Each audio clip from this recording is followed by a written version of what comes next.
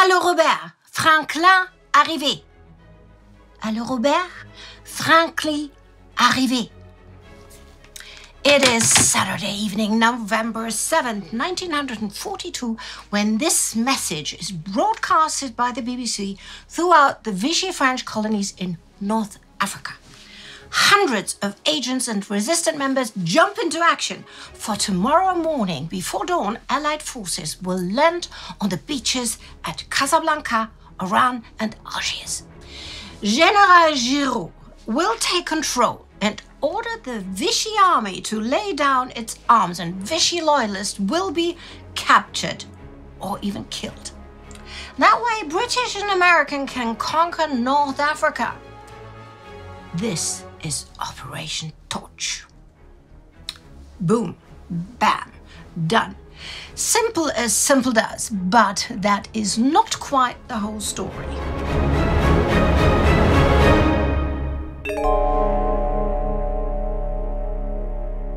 So, listen up. This is another episode of Spies and Ties. I'm Astrid Deinhard. Hello, darlings. Later that night, in a small office room deep in a mountain in the British colony of Gibraltar, several men have gathered to monitor the proceedings of the operation. One of the men in that room is Supreme Commander of the whole thing, American General Dwight D. Eisenhower. Here he is.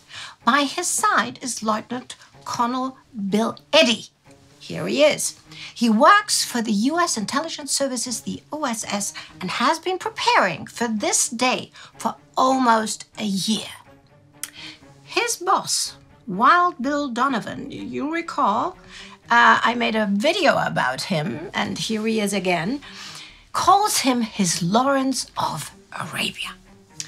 He is a decorated, experienced intelligence man with a record going back to World War I. As a result of that war, he has a pronounced limp after having his hip shot to pieces by German machine gunners at Belleau Wood.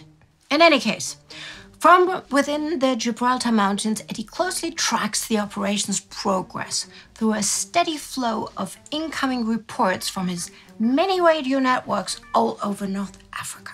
Meanwhile, Wild Bill is waiting in his Washington headquarters, anxious for news about the biggest operation to date for his OSS. Finally, a message reaches his desk. It's from Eddy. Thank God all well. So it looks like Eddy's plans are working out, right? One big reason for that is that the Allies have cracked the German codes. For Torch, they spent months tracking troop, plane, ship, and U boat numbers and movements. Perhaps most crucially, they try to find out if the enemy knows that they are coming. They do not. You see, the developing disaster in Stalingrad is taking most of the Germans' attention. And for more and more commanders, the African theater has become an annoying sideshow. When the Japanese ambassador to Berlin warns that an invasion of North Africa is coming, he is ignored. Instead of reinforcing, planes are withdrawn to the east and U boats sent into the Atlantic. Then, in the late days of October and now in early November, countless Allied convoys are sailing through the narrow Strait of Gibraltar. And the Germans begin to suspect something.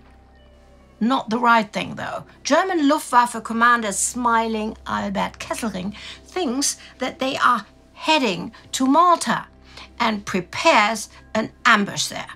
That's why, way to the east, one single U boat manages to attack the torch convoys, disabling a US transport ship.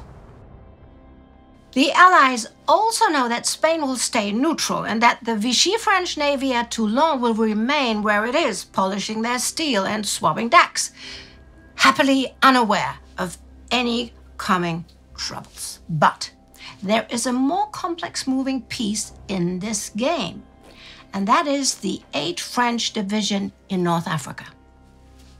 Will they lay down their arms and join the Allies or put up a serious fight?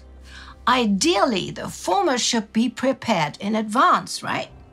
So, finally, we get to my friends, the spies. Now, if you've seen the film Casablanca, you'll know what kind of environment we're talking about. In the middle of World War II, raging on the other side of the Mediterranean and across Sahara to the east, French North Africa is a hotspot of diplomacy, espionage, and trade. And like Sam plays it again in the film, so do our spies in reality. You guys remember Mieczysław Zygmunt Slowikowski, aka Rygor, from my Polish spying episode? Here he is.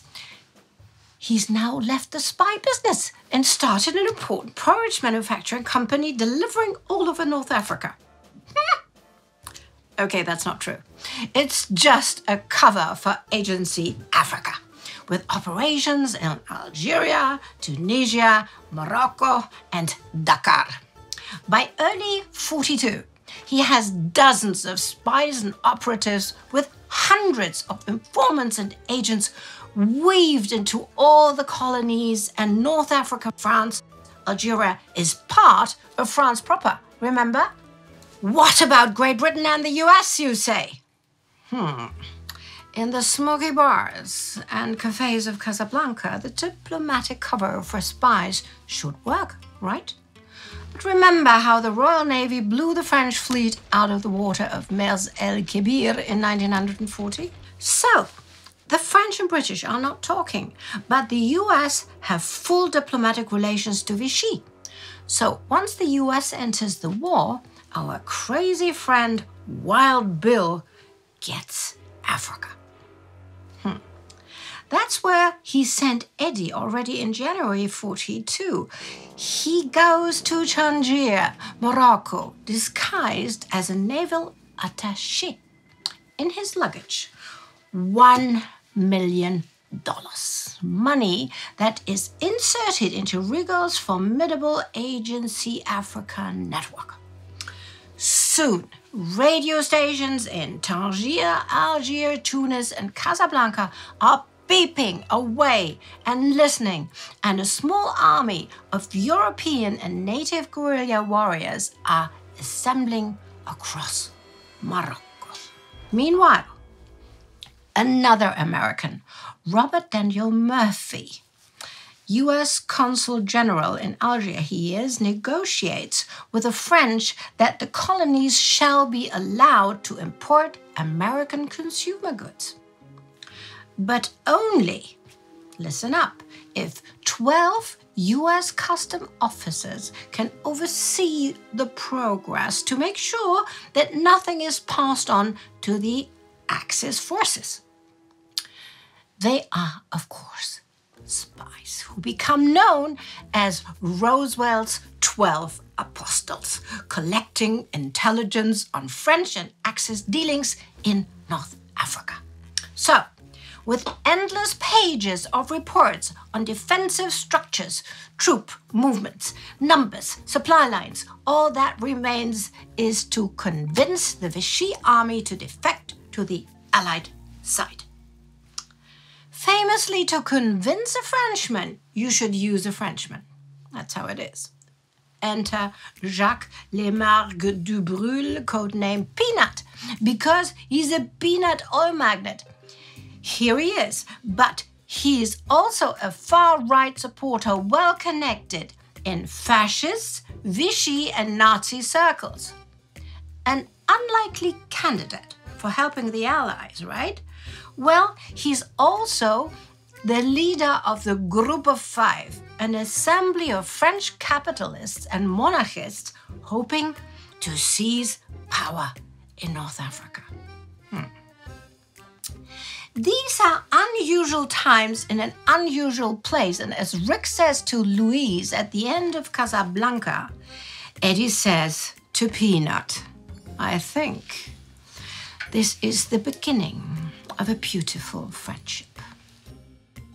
Peanut travels to Lyon, where he meets up with his former military commander Henri Giraud, whom, as you will know from Indy, is the French general who just escaped German custody and now enjoys Pétain's protection in the free zone. Murphy brands Giraud a noble puppet, someone he can use to sway the French army officers in North Africa. In the late summer of 42, Eisenhower sends in Major General Mark Clark, here he is, via submarine to judge the situation for himself. His report reads Anticipate that the bulk of the French army and air forces will offer little resistance. All that Rygor and Eddy have to do now is to make sure that invasion goes smoothly. Agents use flares on the beaches to guide the troops ashore. Resistant groups and guerrilla bands are standing by to take over local governments, radio stations, and other strategic positions. 80,000 rebels will spread chaos in Spanish Morocco as diversion and a huge 9 feet radio antenna is to guide 556 paratroopers to capture two important airfields. 400 guerrilla fighters trained by Peanut take the French 19th Corps headquarters. Radio Algiers and some other important buildings in Algiers as well. Ships are met by French guides waiting for them on the beaches, and Peanut makes his way to the Blida airfield in Algiers to meet General Giraud, who is to address the nation and end the fighting. It's at this point that Eddy wires to Donovan that, you know, you remember, thank God, all is well. Which is true. But like Helmut von Moltke once said, no battle plan survives contact with the enemy. The center of Algiers is quickly retaken by Vichy loyalists before the Americans are even close. French officers aren't defecting as expected. The size of promised guerrilla force is disappointing, and Giraud? He's not at the airfield to meet Peanut. When he arrived in Gibraltar, he suddenly demanded that Eisenhower appoint him absolute supreme commander of the entire operation. Eisenhower refuses, and Giraud only accepted to play ball after wasting hours being angry about that. And when he finally does arrive on the 9th, it becomes clear that Giraud doesn't really have any authority over the French officers anyway.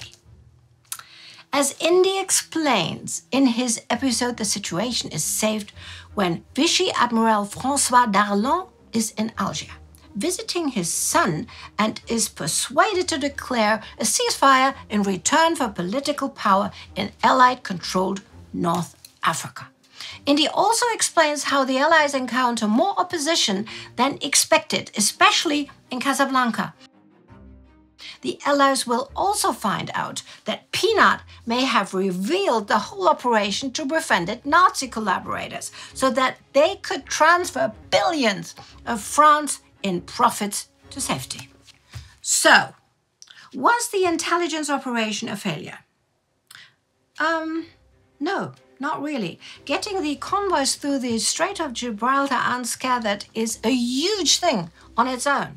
Before it happened, one commander said that he would consider his task successful if he got half of his convoy to Algiers and Oran through the expected gauntlet.